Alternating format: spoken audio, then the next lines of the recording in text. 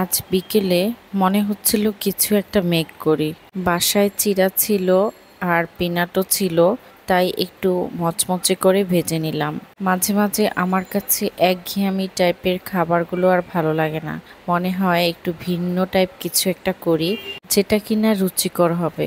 তাই আমি চিরাগুলো ভেজে নিয়েছি। এগুলো দিয়ে চিরা মাখা মেক করব। এই চিরা মাখাটা অনেক দিন হয়ে গেছে, আমার করা হয় না। তো এখানে কিছু অনিয়ন কুচি নিয়েছি চিলি ফ্লেক্স নিয়েছি আর চাট মশলা নিয়েছি। বাসায় ধনে পাতা ছিল না, যার কারণে ধনে পাতাটা দেওয়া হয়নি। তো এগুলো দিয়ে ভালো করে মিক্স করে নেব।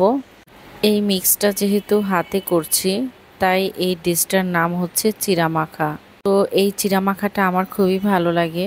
মাঝে মাঝে এই চিরা মাখাটা আমি ইভিনিং টাইমে দেখা যায় চা অথবা কফির সাথে দিয়ে থাকি। ভালোই লাগে।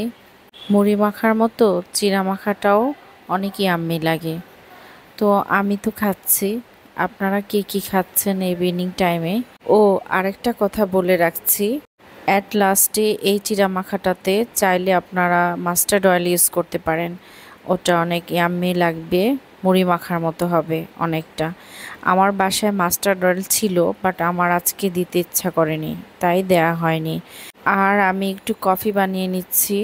মিল্ক পাউডারের সাথে কফি পাউডার দিয়েছি আর লিটল বিট সুগার দিব।